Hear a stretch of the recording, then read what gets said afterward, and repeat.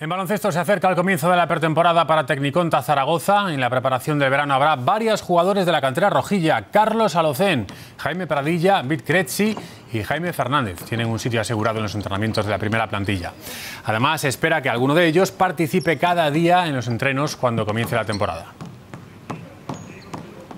Se acabaron las vacaciones para los jugadores del Tecniconta Zaragoza. Mañana el equipo volverá al trabajo y el nuevo técnico, J. Cuspinera, tiene por delante un mes y medio de duro trabajo para conjuntar a una plantilla prácticamente nueva.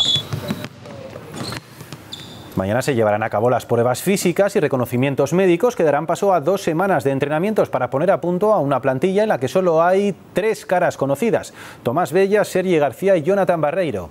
El pívot Juanjo Triguero, procedente del Betis, incorporará el jueves a la pretemporada. A ellos se le suman J. Cuspinera, que dirigirá la nave rojilla y las caras nuevas, que a día de hoy son cinco: Mazalim, Graham, Michalak, Drakovic y Barnado.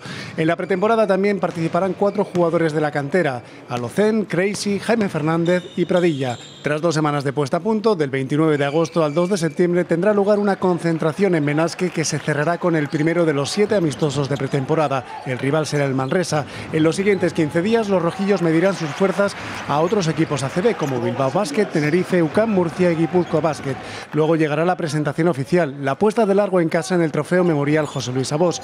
Y antes de comenzar el campeonato, el técnico de Zaragoza cerrará la pretemporada ante el Moraván Andorra el 24 de septiembre. Será el último amistoso antes del comienzo oficial de la Liga Endesa que arrancará para los rojillos en la pista del Momús Obradoiro.